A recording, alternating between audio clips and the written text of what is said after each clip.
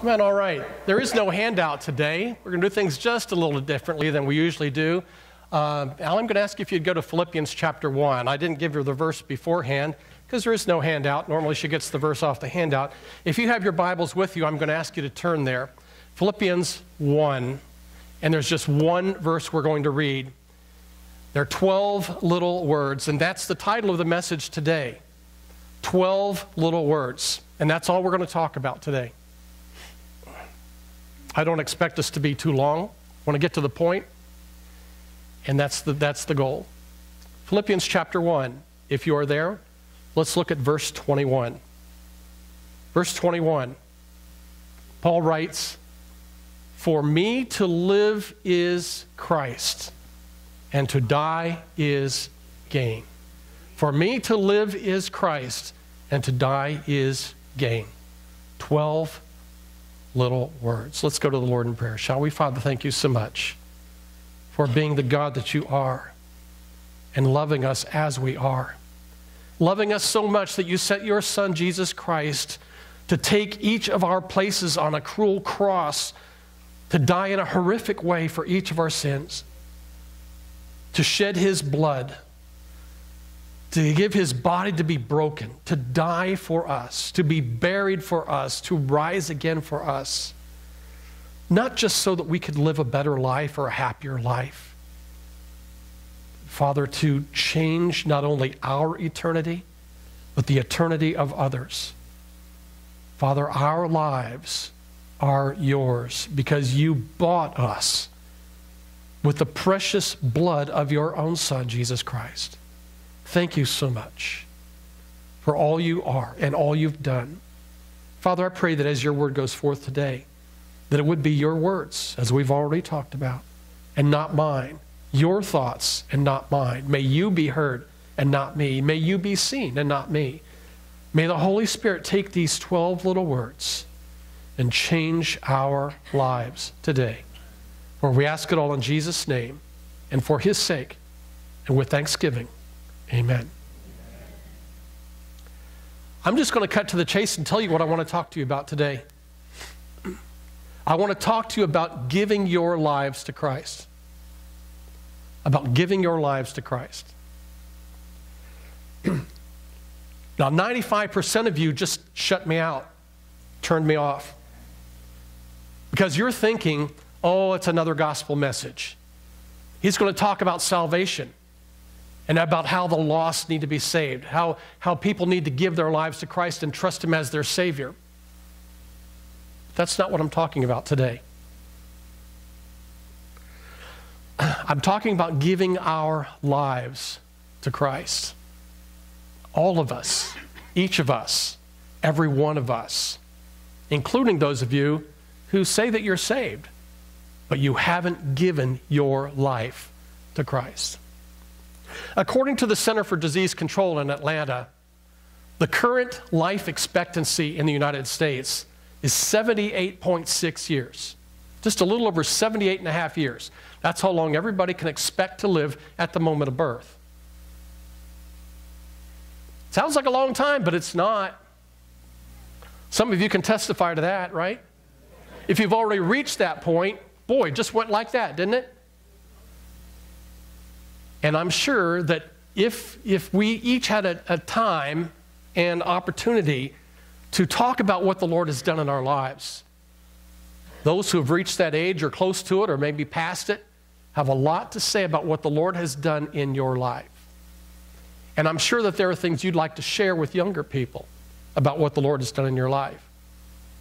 But I want to ask you about your life. What are your goals? What is important to you? I'm especially talking to younger people, but everybody. What are your goals in life? What would you like to do with your life? I'm not asking for a response, but I want you to think about it. What's important to you? What do you hope to have at the end of your life? What will the sum total of your life's worth be? Let me tell you a couple stories. One is about a young man named Eric Liddell. Eric was, um, was born in China to British parents who were there as missionaries. He was born and raised in China, but he went to school in London. His parents sent him back there for college, and uh, while he there, he, he got involved in athletics and was quite good at uh, track. Very, very fast. Was the fastest man in England, in fact, in the 100 yard dash. But at the same time, a very committed Christian. In 1924, he had the opportunity to participate in the Olympic Games, running the 100 yard dash. Unfortunately, just a few months before the games came out, the schedule came out for when the different heats and finals would be run. And one of the heats was going to be held on a Sunday. And Eric had decided months before the games began that he was not going to be able to compete because it was on a Sunday, and he refused to do that on a Sunday. As much as he loved sports, he loved the Lord more. And Sunday is the Lord's day. And so he said, I am not going to compete on Sunday. Well, it upset his coaches and some of his teammates and many, many people in England who expected to see their favorite son compete in his best event and bring home a gold medal for England. But he said, There are some things more important. I will not run on Sunday. Incidentally, Sandy Koufax made the same commitment later uh, in baseball as a Los Angeles Dodger. He would not pitch on, on Saturdays in the, in the World Series. Can you believe that? He, Sandy Koufax was Jewish. He said, I will not pitch on the Sabbath day. Some things are more important. So Eric Liddell did not compete in his heat, his scheduled heat, in the Olympic Games. But instead, he decided to try in a different event the 400 meters.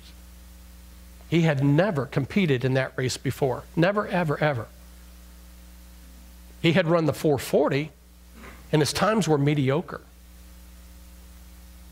But he was going to run the 400 because he couldn't do his best event.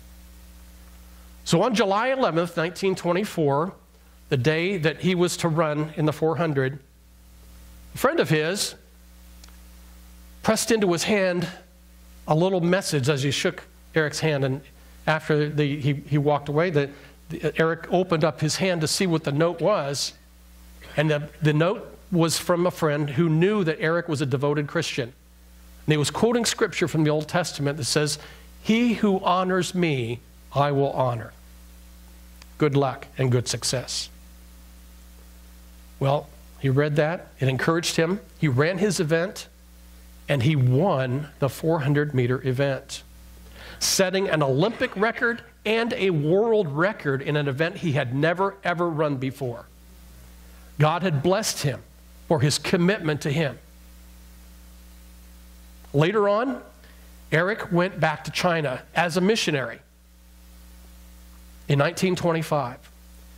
He was there until World War II when China was overrun by the Japanese and he was taken prisoner and sent to a prison, a Japanese uh, concentration camp type thing. While there, he got sick and died at the age of 43. Was his life wasted? No, we would say no, wouldn't we? Gave everything up for the Lord and died young on the mission field. Let me tell you the story of another person. William Borden was a young man who was uh, born and raised in Chicago in a very wealthy family, heir to a fortune. Now, he was not related to the Borden Dairy Company. That's not the family he was with. Uh, he was often confused with that Borden family, but he was with a different family who owned a silver mining operation in Colorado, and his family was, was very, very wealthy. When he was seven years old, his mother got saved and began taking him to church at what would eventually be called Moody Memorial Church in Chicago, where R.A. Torrey, who was a very famous preacher, was preaching at the time. And while there, little Billy, Billy Borden, got saved. I mean, he really got saved. And he really started reading his Bible and loving the Lord at the age of seven. But he grew up as a devoted Christian. Eventually, his uh, parents, um, when he graduated from high school, sent him on a, an around the world uh, chaperone tour of the world. Went to all these different countries. This was right around the turn of the century, over 100 years ago. Went to all these different countries around the world, and while on that trip, just having fun as his graduation present. Wouldn't that be a nice graduation present to have? uh, just getting his graduation present from his parents, he got a burden for missions. He decided, I've got to give my life to the Lord as a missionary. And the, and the, the people that he was most uh, touched by, the ones he was most burdened by, were Muslims. He wanted to reach them. So he came back and he ended up going to Yale University in New Haven, Connecticut. While there, again, he was very involved in sports as well. Three or four different sports. One of them was, was the sailing club. You know, Yale, you know, they have a sailing club there, and they, they sailed yachts, and, and he was captain of his own yacht at, at Harvard. Pretty nice for a young man, right? But also while at, at, uh, at did I say Harvard? Sorry, Yale. Yeah, Yale. There's no Yalies here, right? You're not gonna, you're gonna get mad at me. Okay, but he went to Yale. But while there, he started a Bible study on campus. And then later went to Princeton Theological Seminary. And one of the things he also did uh, at New Haven, I forgot to mention, was that he used his own money to start a rescue mission in New Haven, Connecticut. A visitor from England who was traveling the country and visiting the United States for the first time was asked after he got back to England, What was the thing that most impressed you about America? He said, The thing that most impressed me about America was when I went to New Haven, Connecticut, and I saw a young millionaire with his arms around a raggedy person at the rescue mission in downtown New Haven. Bill Borden was a devoted believer, had lots of money, but he believed that he was called to be a missionary. And so, so instead of taking over the family business and making a lot more money, having a nice house and prestige and power and everything that goes with the trappings of money, he said, I'm going to give it all up and I'm going to go to China to reach the Muslims there. And one of the provinces had a lot of Muslims there. He said they were totally unreached. I want to go there and reach them for the Lord. In order to learn Arabic, he went to a school in Cairo to prepare for the mission field. While in Cairo, he contracted cerebral meningitis and died at the age of 25. Never having reached the mission field. In his will, he left $800,000. Remember, this was over a century ago. It's a lot of money. It's a lot of money now gave $800,000 to the China Inland Mission to build churches and reach the people there with the gospel. 25 years old. Never got to the field that he believed God had called him to. Was his life wasted? I don't believe so. What about your life? What will you have to show the Lord when you stand before Him and say, Lord, this is what I've accomplished for you? When I look back on my life and looked at the things I've, I've done and been able to do and accomplish, I, I think of things that uh, I was just talking to somebody about this uh, this past week, and I've, I've mentioned it several times over the years. It's, it's nice to have uh, a job where you see what you've done at the end of the day. I've had jobs like that, a number of jobs like that. I was a printer for 18 years. And there was a feeling of accomplishment when I got done to see the stacks of paper and the boxes of envelopes and all the other things that I had printed during the day. Sometimes stacks of flyers and materials and tests and exams and, and, and uh, uh, commencement programs and student handbooks and all the things that I, I, I printed in my life. Stacks and stacks, tons of material. At one of my jobs, I was, I was uh, part of the things that I would do is I would order the paper that I had to print during the, the month. I would order 40 cases of paper at a time, an entire pallet. Each box is 50 pounds. Times 40 boxes, that's 2,000 pounds. That's a ton of paper. And that was about every three weeks. I went through that much paper. That's a lot of printing. But you know what? I doubt there's more than 10 pounds of that still in existence today.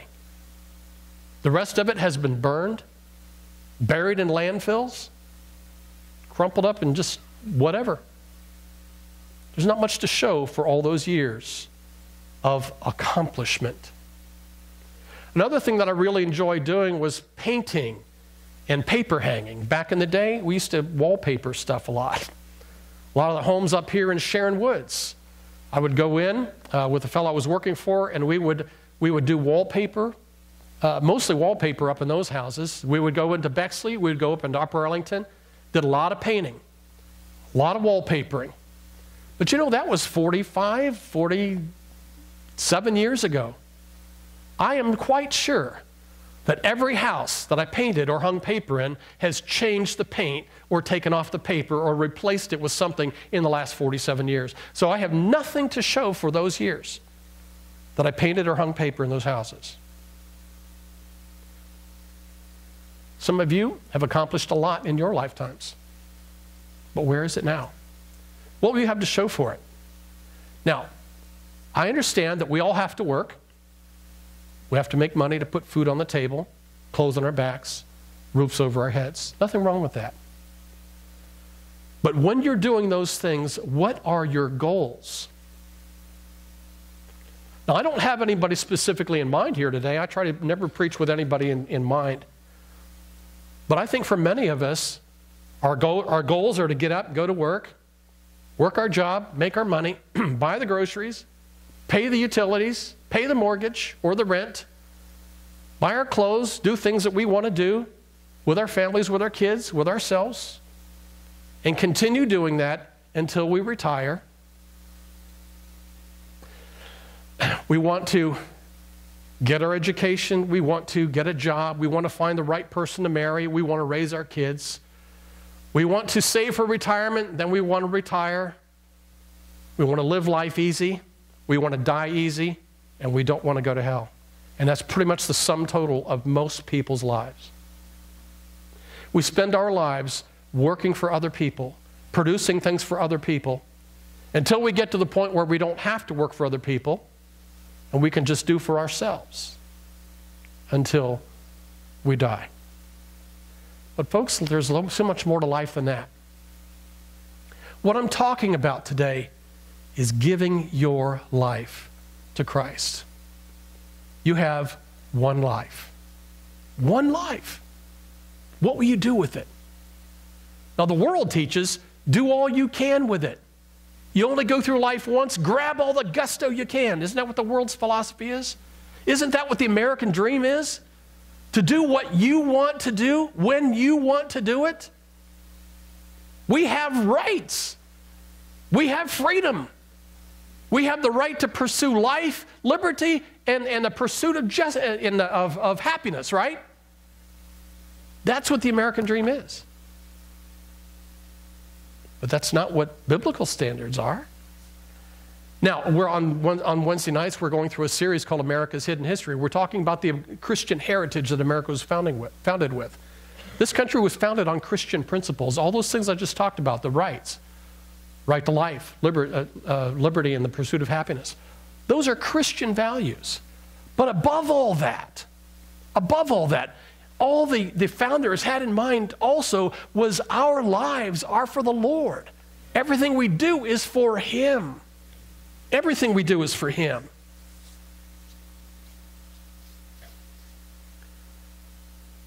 What I'm talking about is giving your life to Christ. It is something that it is hard to get unbelievers to give their life to Christ, isn't it? You ever given the gospel to somebody?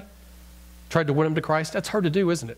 It's hard to get unbelievers to give their life to Christ. but I've got a revelation for you.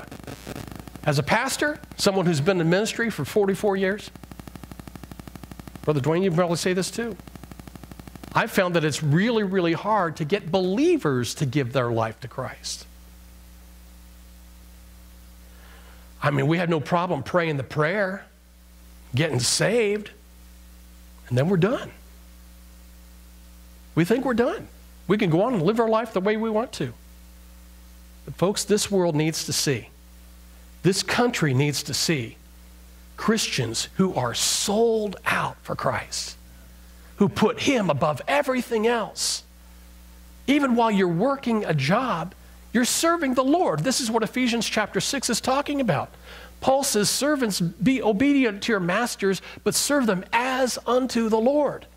You have trouble with your boss? Oh my goodness, everybody does, right? Unless you're extraordinarily lucky, but I'm sure that at some point in your life you've had a boss you didn't like, you've had a supervisor you didn't like, you've had a foreman you didn't like. I think every one of us has been there. But when you consider what the scripture teaches, that you are not serving your foreman, overseer, boss, manager, supervisor, whoever they are, you're not serving them, you're serving the Lord. They happen to be over you right then. Changes everything. It changes everything. What I'm asking you to do is consider those 12 little words. For me to live is, and then put a blank there. For me to live is what? What is your life worth? For Paul, it was Christ. Now consider this, this man was a Pharisee. Now, to us, that means just some religious snob. But in his day, it was the pinnacle of his profession. He had money, he had power, he had prestige. Everybody looked up to him. He had the power of life and death over people. This man had influence that our politicians are fighting for right now. That he had it all. Nobody questioned him. And yet, when he was confronted by Jesus Christ on that road to Damascus, the question that was essentially asked of him, it wasn't worded the same way as this, than what you see on the screen right now. But what Jesus presented to him was a proposition I want you to give your life for me. Now, the Lord did not promise him convenience, wealth, security, health, freedom. He didn't promise him any of those things. You know what he promised him? Do you know what is implied in the challenge, the call to discipleship? What the Lord promises is suffering and persecution and rejection and hurt. That's what he promises. And trust me, there's plenty of that out there. Not just from unbelievers, but from so called believers as well. But the, the call to discipleship is a call to suffering. Peter talked about this. He said we should follow in his steps. Jesus said, As the Father hath sent me, even so send I you. How did the Father send him? Well, he sent him to hang on a cross, to be crucified. That's no fun. That's not convenient. That's not comfortable. Yet the call to discipleship means giving up your life for Christ. It doesn't necessarily mean dying, but it means reckoning yourself to be dead. It means that nothing we have and nothing we are is ours. Not even our bodies belong to us.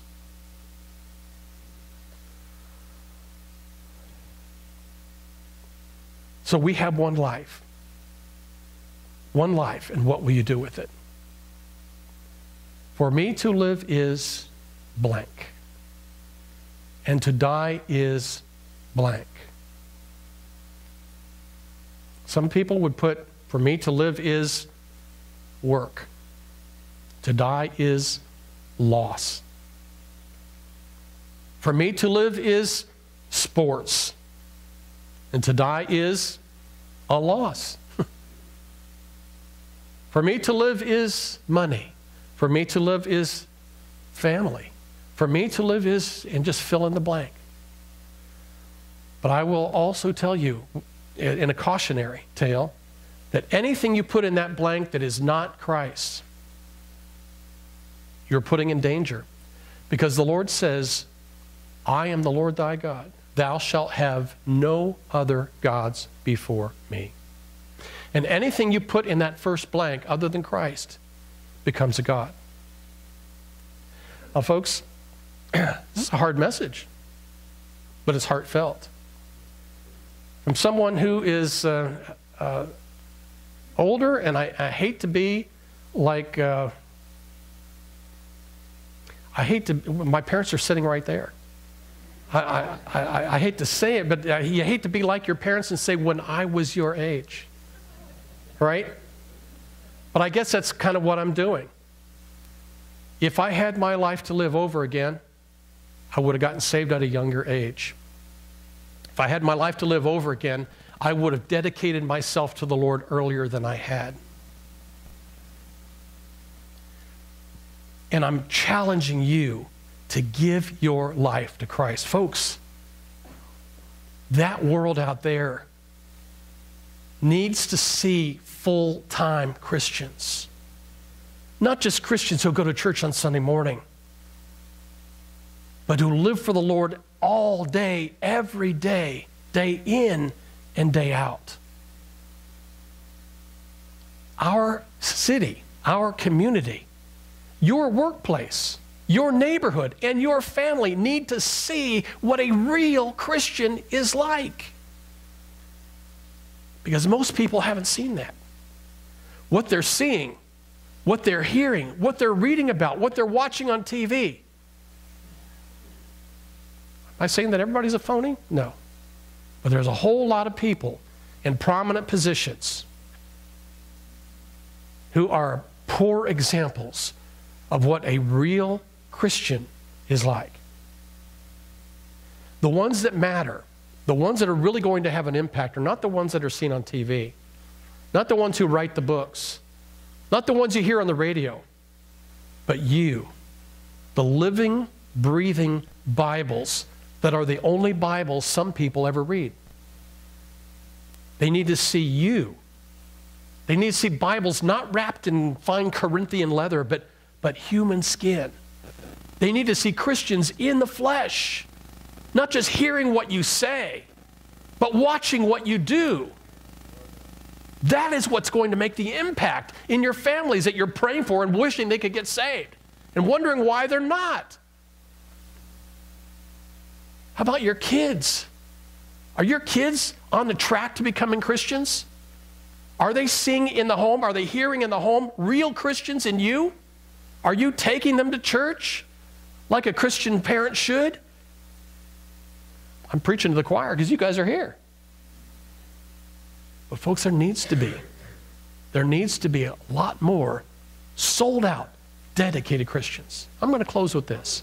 C.T. Studd once wrote a very short poem that is quite impactful. And you're going to memorize it before you leave here.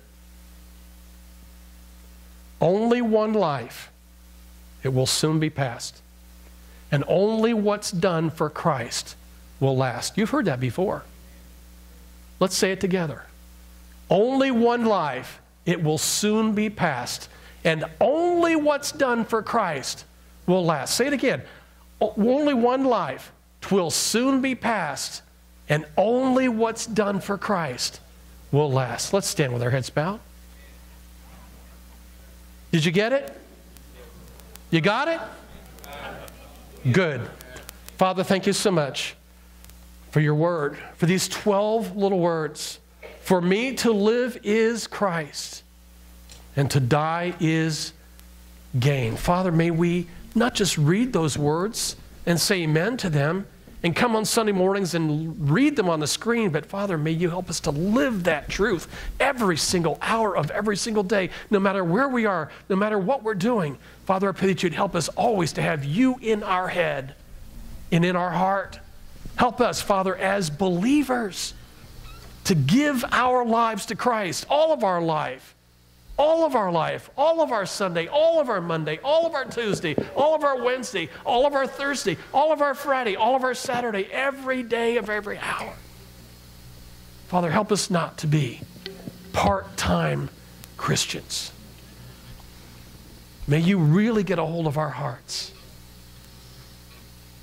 May we sell out to you.